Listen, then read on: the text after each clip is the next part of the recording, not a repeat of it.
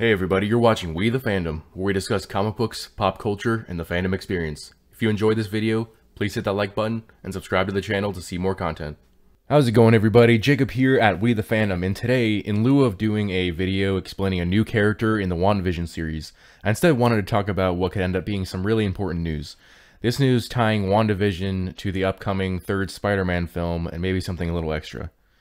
So this news is coming from Instagram of all places. And if you didn't know, the character Flash Thompson from Sony's Spider-Man franchise has a real-life Instagram account where Sony posts stuff as if it was actually the character posting stuff from his life. And there's even a real Daily Bugle tabloid site with J. Jonah Jameson. Um, but yesterday, the Flash Thompson account posted something new from the Daily Bugle. This article talking about the fallout of Spider-Man from Spider-Man Far From Home, where Mysterio died but not before outing Peter Parker as Spider Man. And I'll just read the article here. Uh, there's a little part that says After the brave, strong, glorious hero Mysterio exposed the true identity of the madman, the masked menace Spider Man, there's still no trace of Spider Man. There's been reports of people in New York saying that they last saw him with an unidentified young lady watching our big reveal. Since then, chaos has erupted all over New York. Somehow people still support Spider-Man, not us. We are all Team Mysterio, baby.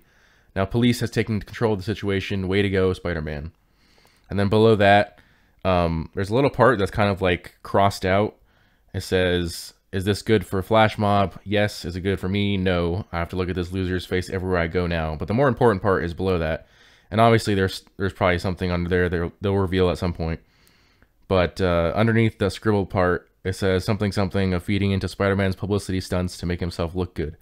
We have to unite put an end to all this super chaos going on. The super chaos, I'm pretty sure, is referring to what's going on in New Jersey with WandaVision. Obviously, uh, referencing the chaos magic and how the city or town of Westview is kind of being held hostage there. But the more important part, well, I guess that part was kind of important tying WandaVision to Spider Man. But the more important part, in my opinion, was the sentence underneath it after it says put an end to all these super chaos going on, it says find these darn astronauts. Now, why would that be important? So, recall in the fourth WandaVision episode, they explained Sword. The interim director, Tyler Hayward, was explaining to Monica Rambeau the current state of their astronaut program, saying it's dismal, that they lost half the personnel in the blip, and the other half have lost their nerve. Now, we don't know anything about these astronauts in training. We don't know their names, and we don't know whether uh, the astronauts lost in the blip have returned yet, or if the astronauts who are still there have any importance and are going to come up in the future series.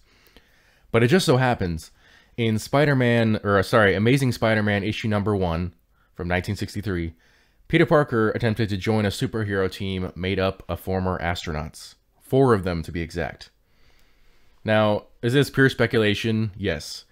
There is no for sure confirmation that the Fantastic Four will be appearing in Spider-Man, but I do believe in the strong possibility that will occur. I do think the clues are there. We know that the Fantastic Four are getting their own movie in a couple years, and about a year ago we had a leak from a quote-unquote industry insider named Mikey Sutton saying that the Fantastic Four would appear in the Spider-Man outing.